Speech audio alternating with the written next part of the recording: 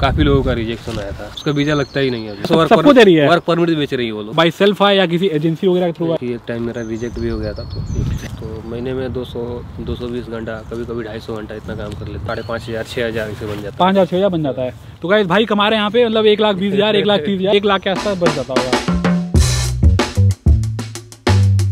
देखिए अब आपके लिए फाइनली वीडियो शुरू करते हैं। क्या हुआ भाई? Okay guys welcome back to my channel मेरा नाम है उत्कर्ष। मैं रहता हूँ भाई पूरण में। आज हम आए हुए हैं वॉब्जिक। वॉब्जिक शहर है पहाड़ों के बीच में। हमारे भाई हैं यूपी के। कहाँ के हो भाई? गोरखपुरी गोरखपुर गोरखपुर यूपी है आसपास की है। वीडियो में आपकी जितनी भी क्वेश्चन रहती है ना पूरे वर्क परमिट के रिगार्डिंग सब पे बात करेंगे। मैं पूरा क्वेश्चन वगैरह बना के आया हूँ तैयारी करके। शुरू करते हैं वीडियो। लोग बहुत थोड़ा लाइक शेयर और प्यार दिखाओ सब्सक्राइब कर देना। तो मेरा पहला क्वेश्चन ये भाई अपने आप को इंट्रोड्यूस करो इंट्रोड्यूस मैं यूपी से हूँ गोरखपुर से। हाँ। नाम तो मेरा अशरफ अली है। अशरफ अली? हाँ, तो गाइज़ इनका नाम है अशरफ अली और ये है यूपी गोरखपुर।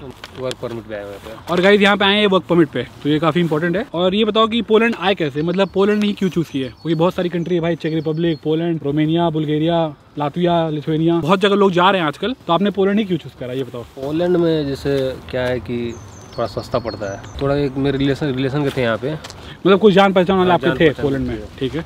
अच्छा पैसा कमाते थे मुझे लगा मुझे भी जाना चाहिए। खर्चा वर्चा भी यहाँ पे हर जगह से सस्ता है रहने वहने के मामले में अच्छा है। तो ये बता रहे हैं पोलैंड इसलिए चूज़ करे पहला तो इनके थे जान पहचान के तो बोले पोलैंड आ जाओ उतना खर्चा नहीं लगेगा और रहना एक्सपेंसेस वगैरह भी कम है। तो उसके बारे में आगे हम बात करेंगे। तो आपने इसलिए पोलैंड चूज़ करा बिकॉज़ थोड़ा सस्ता वगैरह था। ठीक है। अब तीसरा क्वेश्चन ये कि आप कैसे आए? बाई सेल्फ आए या किसी एजेंसी वगैरह के थ्रू आए? एजेंसी के थ्रू है और एजेंसी कहाँ पे एजेंसी तो ये है सचिन में है। सचिन। सचिन पोलैंड मतलब पोलैंड की एजेंसी है। तो आपका कॉन्टैक्ट कैसे हुआ इंडिया में? कॉन्टेक्ट बता रहे हैं ना मेरे एक अंकल हैं। तो वही रहते हैं। बाकी उस कंपनी का जो एचआर है एक इंडियन एच है। तो उसी के थ्रू आए थे। पहले वर्क परमिट निकला उसके बाद बाकी जो प्रोसेस होता है वो सब हुआ। एक बात घूम फिर के यहीं पे आ गए इनके जो जान पहचान वाले थे उन्होंने एक सजेस्ट करा पोलैंड की एजेंसी संपर्क में आए तो फिर काम वगैरह आगे बढ़ा इनका वर्क परमिट का। तो कितना टाइम लग गया टोटल फॉर लेटर आने में वर्क परमिट आने में? वर्क परमिट आने में लगभग तीन महीने लगता है। पूरा प्रोसेस तीन महीना? हाँ, चार महीने पाँच महीने तो पूरा फाइनल हो हाँ मतलब इतना तो लेके चलो। इतना लेके चलो। चार पाँच महीना? फाइनल हो जाएगा आपका। बाकी एक टाइम मेरा रिजेक्ट भी हो गया था तो पहली बार में वीज़ा रिएक्शन आया था? रिजेक्ट हो गया था। दूसरे वो कंपनी से लगा था दूसरे कंपनी से। हम्म। वो कंपनी से लगाए थे तो वो रिजेक्ट हो गया था। तो फिर ये एजेंसी के थ्रू लगाए तो फिर लगा। तो कहती बता रहे हैं इनका पहली बार में वीज़ा रिएक्शन आ गया फिर उन्होंने कंपनी चेंज करी दूसरा वर्क परमिट मंगाया तब जाके वीज़ा लगा राइट तो गाइस आपके क्वेश्चन होते हैं कि भाई एक बार वीज़ा रिजेक्ट हो गया तो क्या करें?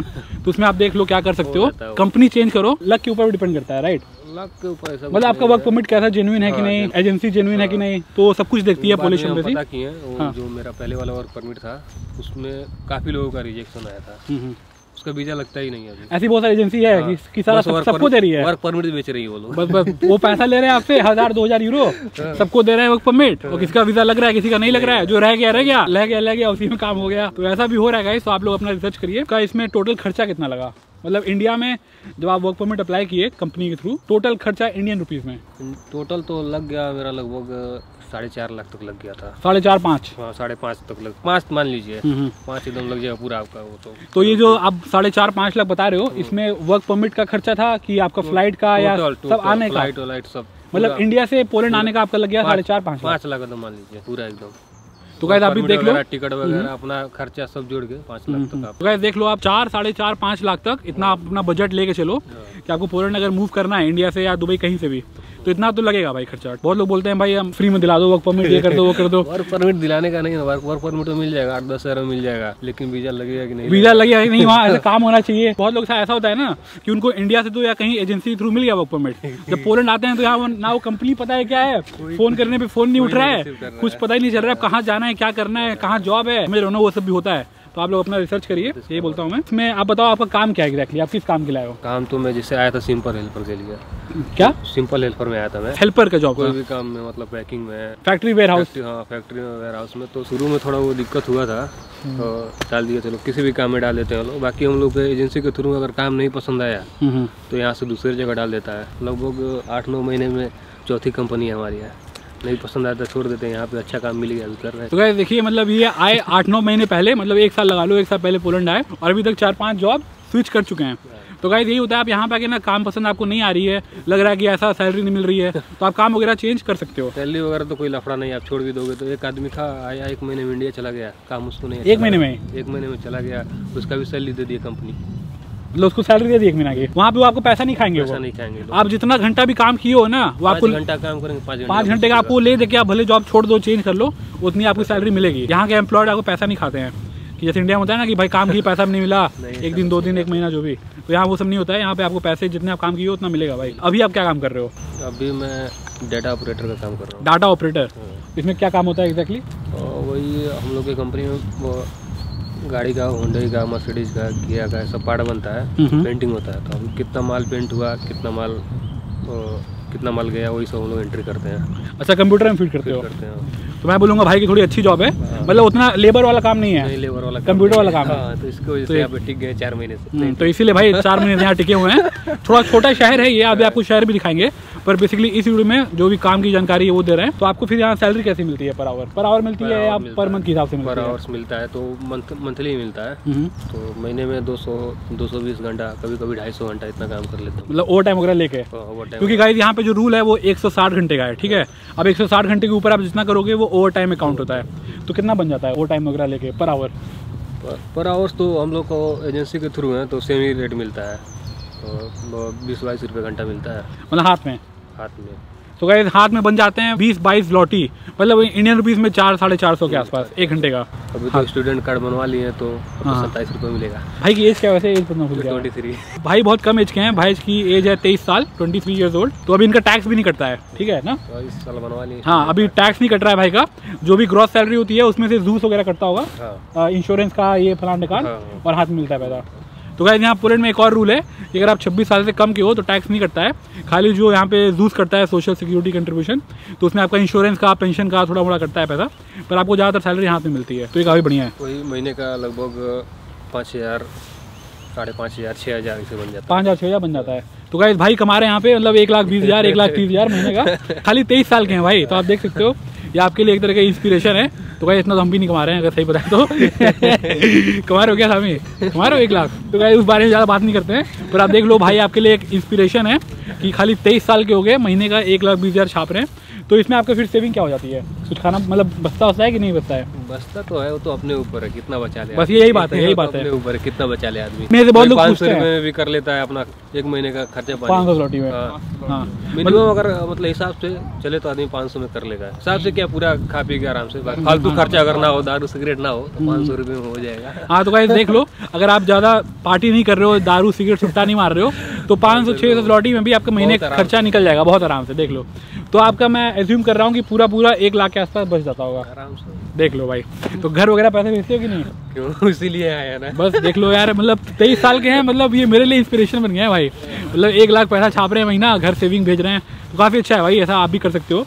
तो आपको बस सही राह पे चलना है। फालतू यूट्यूबर है जो गरीब माँ के बेटे बोलते हैं। बहुत सारे बन गए हैं भाई। गरीब माँ के बेटे बोल के ना आपको चूतिया बना रहे हैं कि आपको उसमें नहीं पढ़ना है भाई झांसे में ठीक है? तो भी एकोमोडेशन है इनका जो फ्लैट है वो दिखाएँगे। कैसे जाते हो काम पे? काम पे तो हम लोग का हर जगह एजेंसी देता है गाड़ी हम्म। आने जाने का। बाकी यहाँ बस का वो है। बस का कार्ड मिलता बस का कार्ड देता है रिचार्ज करके वो देता है एक महीने का। उसी से हम लोग जाते हैं। हर जगह रहता है गाड़ी रहता है लेकिन यहाँ बस है। हम्म। कंपनी तक जाती है पूरा रूम से। रूम से निकले फिर बस में बैठ के चले जाते हैं वो कार्ड देता है बना के। तो गाइस इनको बेसिकली यहाँ का ना जो पब्लिक ट्रांसपोर्ट का कार्ड मिलता है मतलब मंथली पास जो भी एकोमोडेशन है हम्म, वहाँ से ये जॉब पे जाते हैं। मंथली फ्री मिलता है ना वो? फ्री मिलता है भाई। अब क्या चाहिए भाई? सब फ्री मिल रहा है अब क्या चाहिए एक सौ बीस रुपये रिचार्ज करते हैं कंपनी डेढ़ सौ रुपये देता है। तो गाइस ये भी सही है। और आपका एक बात बताओ अपना जो भी ओवरऑल एक्सपीरियंस है आपका काम कैसा है यहाँ पे? मतलब काम से खुश हो? कि अभी जॉब चेंज करनी है क्या करनी है? चेंज करना चेंज जितना करना था कर, कर लिया ना? करना है। हम्म, शुरू में थोड़ा दिक्कत होता है बाकी सेट हो जाता है तीन चार महीने में आदमी हाँ, शुरू में थोड़ा दिक्कत होता है। अब नहीं चेंज करना अब तो एकदम सेटिस्फाई है। ठीक है ठीक है। तो कैसे देख ही रहो आप बहुत खुशी की बात है।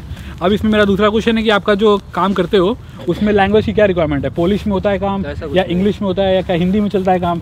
ऐसा कुछ नहीं हम लोग तो इंग्लिश इंग्लिश ज़्यादा है मतलब काम तो सिंपल हेल्पर में आते हैं तो वो लोग ट्रांसलेट करके दे देते हैं लोग। तो लैंग्वेज का कोई मसला नहीं है। मतलब पोलिश में होता है पर वो लोग हेल्प करते हैं ट्रांसलेट वगैरह कर बराबर देते हैं करते हैं लोग। जहाँ नहीं समझ में आएगा वो ट्रांसलेट करके तुरंत देंगे लोग। तो ये गाइस देख लो आपका इंग्लिश से काम चल जाएगा। बस हाँ। बेसिक हल्की थोड़ी इंग्लिश आनी चाहिए। मेरे से ऐसा बहुत लोग पूछते हैं कि यार उत्कर्ष मेरे को बिल्कुल इंग्लिश नहीं आती। ऐसा कुछ नहीं है। हाँ तो मेरे को हिंदी में करते हैं मैसेज वगैरह। हल्की सी बेसिक इंग्लिश तो आनी चाहिए लोग- हैं कि हिंदी भी नहीं बोल पाते वो लोग भी यहाँ पे हाँ, बस- बस- बस। महीने कमा रहे हैं। भाई देख लो गाइस तो आप लोगों को इंस्पिरेशन मिले इससे और कुछ नहीं है। अब एक बात बताओ आपका जो एकोमोडेशन है वो कंपनी के थ्रू मिला है या आपको प्राइवेट अपार्टमेंट है? नहीं कंपनी के थ्रू मिला हर जगह हम लोग एजेंसी देता है हम लोग को। मतलब कंपनी के थ्रू मिला है? तो उसमें आपका कंपनी फ्री में देती है या पैसा काटती है मंथली चार सौ जिलोटी काटता है। मतलब गाइस चार सौ लौटी महीने का काटती है। उसमें आपका जो भी रहने सहने का जो भी इंटरनेट पानी बिल सब इंक्लूडेड है। इंटरनेट है। आने जाने का पानी इलेक्ट्रिसिटी सब सुविधा तो गाइस ठीक है अभी आपको अगले पार्ट में इस वीडियो के आपको दिखाएँगे भाई एकोमोडेशन वगैरह क्या है कैसे रहने का हिसाब किताब है। अभी एक बात बताओ इसमें आप पोलैंड ही क्यों चूज़ करें और कोई और कंट्री क्यों नहीं चूज़ करें? पोलैंड सस्ता है अच्छा है। आपके जो अंकल थे उन्हीं ने बताया उन्हीं ने बताया। कि पोलैंड आ जाओ। और क्या? सही है सही है। अभी तक का आपका एक्सपीरियंस काफ़ी अच्छा रहा है पोलैंड में राइट नहीं गाइस इसलिए बता रहा हूँ मैं बहुत लोग क्लिक बेट वाली वीडियो बनाते हैं कि पोलैंड में कुछ नहीं मिल रहा यहाँ पे कि ये नहीं मिल रहा वो नहीं मिल रहा बंदी नहीं मिल रही वो तो आगे बात करेंगे हम। थोड़ा दिक्कत होता है दिक्कत होता है भाई भाई इंडिया से देखो भाई हम भी यूपी के हैं भाई भी यूपी के हैं ठीक है। आप यूपी से आप महाराष्ट्र चले जाओ आप कहीं भी चले जाओ दिक्कत होगा कि नहीं होगा शुरू में कहीं दिक्कत तो यहाँ तो आप पूरा अपना देश चेंज कर रहे हो भाई। तो दिक्कत तो आती है शुरू में पर आपके ऊपर आप कैसे वो चैलेंज फेस करते हो राइट तो अब मेरा अगला क्वेश्चन यही है कि आपको क्या क्या अभी तक चैलेंज फेस करना पड़ा पोलैंड में? पहला तो लैंग्वेज का होगा। लैंग्वेज का। स्टार्टिंग में आओगे तो कुछ समझ ना आया साला क्या हो रहा है कुछ गए? अलग ही भाषा है यहाँ कुछ समझ नहीं आ रहा। खाने पीने की दिक्कत हो रही होगी स्टार्टिंग में। बहुत दिक्कत हो रहा था लेकिन अब तो इंडिया मार्केट पता चल गया है। यहाँ पे है मतलब इंडियन शॉप नहीं रोकलो में है। में हाँ ऑनलाइन कर देते आ जाता है एक दिन में। आ जाता है। तो क्या ये भी सही है? देखिए यहाँ पे इनको अगर इंडियन शॉप यहाँ पे नहीं है छोटा शहर है ये तो ये बगल में ब्रोकलो जहाँ हम रहते हैं वहाँ से ऑर्डर करते हैं ऑनलाइन तो एक दिन में आ जाता है एक से दो दिन में। ये भी सही तो है खाने पीने का कोई दिक्कत नहीं है। खाने में कोई दिक्कत नहीं है राइट शुरू में दिक्कत हुआ था। पता नहीं चला था क्या खाएँ क्या नहीं ये हाँ हमें भी लगा था। यहाँ पे ना तो साला समझ नहीं आया कि हर हर टाइम ऐसा एनर्जी लो लग रहा है। समझ नहीं आ रहा क्या चल रहा है भाई। तो आप बस खाने पीने का ध्यान दो सब कुछ मिलता है आपका इंडियन शॉप जो भी है थोड़ा महँगा मिलता है पर सब कुछ मिल जाता है। महँगा के आदमी एक लाख रुपया डेढ़ लाख रुपया महीना कमा रहा देखो भाई अब देखो भाई से सुनो आप लोग अब। अब एक डेढ़ लाख कमा रहे हो तो यार कम से कम पाँच हज़ार तो खर्चा कर ही सकते हो इंडियन स्पाइसेस में या नमकीन वगैरह जो भी। सब मिलता है। सब मिलता है भाई। तो गाइस अब मेरा अगला क्वेश्चन यही है। बीएफएस के थ्रू वीज़ा अप्लाई किए थे या पोलिश एम्बेसी के थ्रू बी एस एफ़ के थ्रू किए थे। हाँ। तो उसमें आपको डेट्स कैसे मिली थी? आजकल तो डेट का इतना पंगा हो रहा है इंडिया में। डेट तो हम लोग का जो एजेंसी है एजेंट है सब वही किया था। हम लोग को कुछ नहीं करना था। तो डेट्स वही बुक किया था बुक किया था कुछ पैसा लिया था एक्स्ट्रा उसके कुछ एक्स्ट्रा पैसा नहीं सब उसी में पाँच लाख मतलब सब।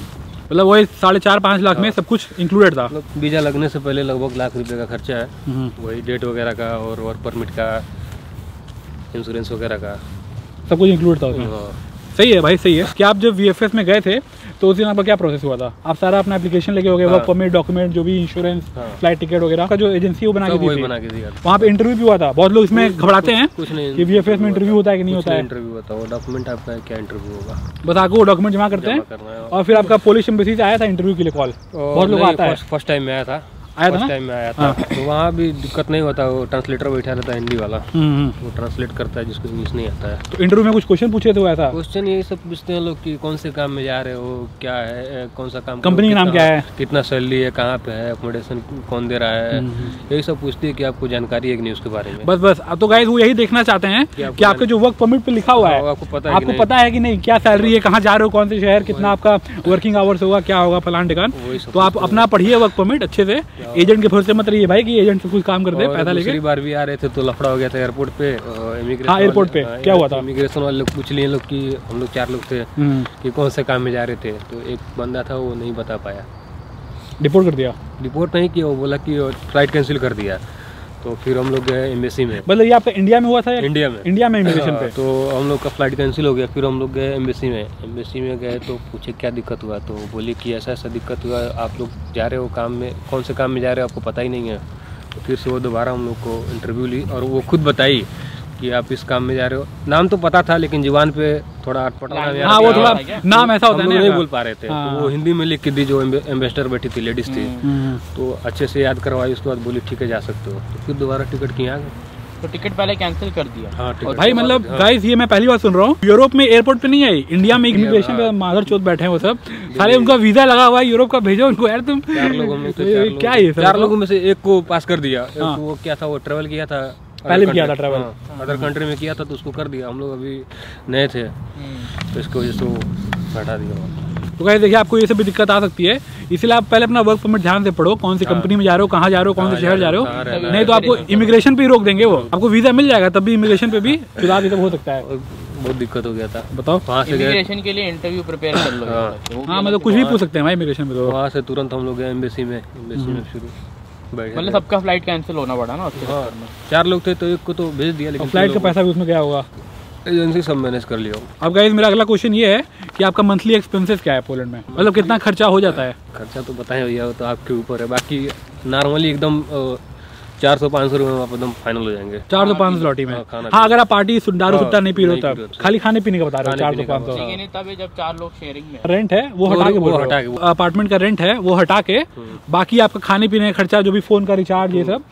चार सौ पाँच लौटी में हो जाता है। लगभग बीस पच्चीस बीस पच्चीस रुपये लगता है। बाकी हर जगह वाईफाई अवेलेबल है कंपनी भी यहाँ भी। पोलैंड कैसा लगा अभी तक? डू लाइक पोलैंड कि या किसी और कंट्री मूव होना है? बिकॉज़ मैं इसलिए पूछ रहा हूँ बहुत लोग जो इंडिया से आते हैं उनका अल्टीमेट गोल ये नहीं होता है कि पोलैंड में सेटल हो जाए।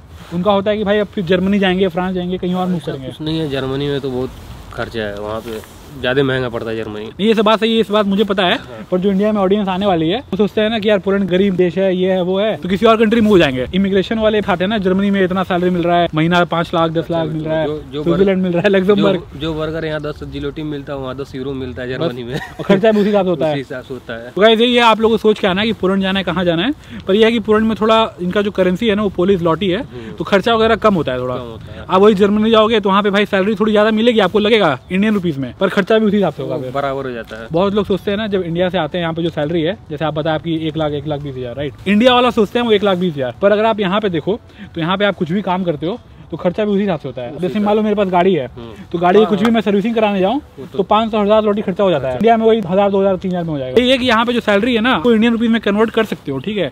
कि आप एक लाख कमा रहे हो दो लाख कमा रहे हो। पर अगर आप ऐसा कुछ खर्चा करने जाओगे जब तो खर्चा भी उसी हिसाब से होता है। तो वो सब भी आपको सोचना है। ये नहीं है कि भाई जैसे इंडिया में जो बंदा एक लाख कमा रहा है उसकी जो लाइफ होती है उसका जो भी होता है वो आप एक लाख यहाँ में वो नहीं कर पाओगे। ये ये बोल रहा हूँ मैं। हाँ, एक लाख यहाँ के लिए बहुत कम है। यहाँ के हिसाब से एक लाख कम है। आपको इंडिया में सुनने में अच्छा लगता है कि एक लाख एक लाख बीस हज़ार जो भी। जो लोकल लोग हैं काम करते हैं लोग। तो वो पंद्रह हज़ार जिलोटी बीस हज़ार जिलोटी ये सब भी रहता है। हाँ जो परमानेंट कंपनी से हो। गए हैं लोग। दस साल से काम कर रहे होंगे पाँच साल आठ साल दस साल। पंद्रह हज़ार बीस हज़ार जिलोटी है। अब एक और अगला क्वेश्चन बताओ पहले बता चुके हो पर अभी तक कितना जॉब चेंज किए हो पोलैंड में? चार। ये चौथा जिला मतलब अभी चौथा जॉब चल रहा है राइट ये वाले जॉब में भाई खुश है बिकॉज़ खर्चा कम हो रहा है यहाँ पे। और सब कुछ अच्छा है भाई छोटा सा शहर है। दस घंटे शांति है? करते हैं आराम से। दिन में काम कितना होता है? आठ घंटा दस घंटा बारह घंटा। वो तो लगभग दस घंटा तो एकदम फिक्स है। हम्म। हाँ, बाकी कभी कभी बारह घंटा होता है। कहीं कहीं तो बारह बारह घंटा लगातार चलता है सैटरडे भी चलता है। जिसको ज़्यादा काम चाहिए होता है वो ढूंढता है। हम ओवर टाइम मिलेगा। नहीं वही हम लोग की एजेंसी से तो वही रेट मिलता है। एजेंसी अच्छा तो इसमें ओवर टाइम का क्या रहता है? मतलब आपको ओवर टाइम बोलना पड़ता है कि मेरे को ओवर टाइम चाहिए मतलब वीकेंड पे या कंपनी खुद से देगी ओवर टाइम ऐसा कुछ नहीं है। आपको बोलना पड़ेगा? हाँ, नहीं कंपनी के पास काम रहता है देता है। हाँ। बाकी कई कई कहीं बहुत बहुत सारी ऐसी कंपनी है कि वहाँ पे एकदम परमानेंट बारह घंटा ही चलता है। सैटरडे को भी चलेगा। तो महीने में ढाई सौ तीन सौ घंटा हो जाता है। तीन सौ घंटा हो गया तो नॉर्मली भी छः हज़ार वैसे हो गया। हाँ। पर आवर पे कितना है? बाईस हाथ में नेट हाँ। अगला क्वेश्चन मेरा ये है कि आपके फ्यूचर प्लान क्या है? थोड़ा इधर आ जाओ साइड में। तो अभी जैसे पोलैंड तो आप आ गए काम भी कर रहे हो एक साल के आसपास हो गया। तो अभी तक आपका फ्यूचर में क्या प्लान है? मतलब यहीं पे रहना है पीआर लेना है पासपोर्ट लेना है? पी आर वगैरह तो कुछ नहीं लेना इंडिया में जाए कुछ बिज़नेस करके सेट हो मतलब यहाँ पैसा वैसा अच्छा कमाना है? हाँ, इंडिया में अपने यूपी में बिज़नेस खोलना है। गोरखपुर जिला खुलेगा बिज़नेस ठीक है। तो वैसे ये मैं इसलिए पूछ रहा था ताकि लोग के अपने अपने होते हैं। भाई किसी का होता है कि यहाँ पे पुलिस बंदी शादी कर लें फिर है। पीआर ले लें ये ले लें वो ले लें। तो भाई का प्लान है कि यहाँ पे आए हैं अच्छे खासे पैसे कमाएँ। अभी तो भाई की एज बहुत कम है यार अभी अभी तेईस साल एज है। अभी यहाँ पे दस साल भी काम करेंगे ना तो अच्छा खासा कमा के इंडिया में खुल सकते हैं बिज़नेस वगैरह। अब मेरा यह है कि आपका सजेशन क्या रहेगा? जो फ्यूचर में लोग आना चाह रहे हैं पोलैंड चैनल पर इतना कमेंट वगैरह आता है कि भाई पोलैंड आए नहीं आए क्या करें किस कंट्री आए तो आपका क्या सजेशन है उन लोगों के लिए? एकदम दिल खोल के। आ सकते हो। एकदम एकदम बहुत कम काम करेंगे फिर भी आराम से साठ हज़ार बचा लेंगे। एकदम नॉर्मली ना के बराबर साठ हज़ार कहीं नहीं गया आपका। हाँ। तो कैसे है कि करेंसी में। यहाँ पे आप साठ हज़ार कमाओगे और यहाँ पे जो यहाँ जो लाइफ है ना इन जनरल एकदम सुकून वाली है नहीं? सुकून वाली एकदम। देखो यहाँ पे किसी किसी मतलब नहीं है अपना मतलब आराम से जो भी टहल रहे हैं घूम रहे हैं खेल रहे हैं कूद रहे हैं कुछ पेल रहे हैं कुछ भी कर रहे हैं भाई। किसी को मतलब नहीं कुछ। अब गाइस अब जो अगला पॉइंट है वो है टीआरसी का सीन बताओ। कि टीआरसी जो टेम्प्रोरी रेजिडेंट परमिट होता है वो आपको मिला है कि नहीं मिला है क्या अभी हुआ तो नहीं मिला है। इस महीने में फरवरी में अप्लाई करेंगे। अभी अप्लाई करोगे फरवरी में?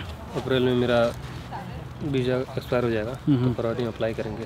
और गाइज़ अभी भाई जो जिस शहर में रहते हैं वो ऑब्जेक्ट में यहाँ पे आसानी से अप्लाई हो जाता है और यहाँ पे जल्दी मिल जाता है। आपको पता होगा कि नहीं पता होगा मैं बता दूँ।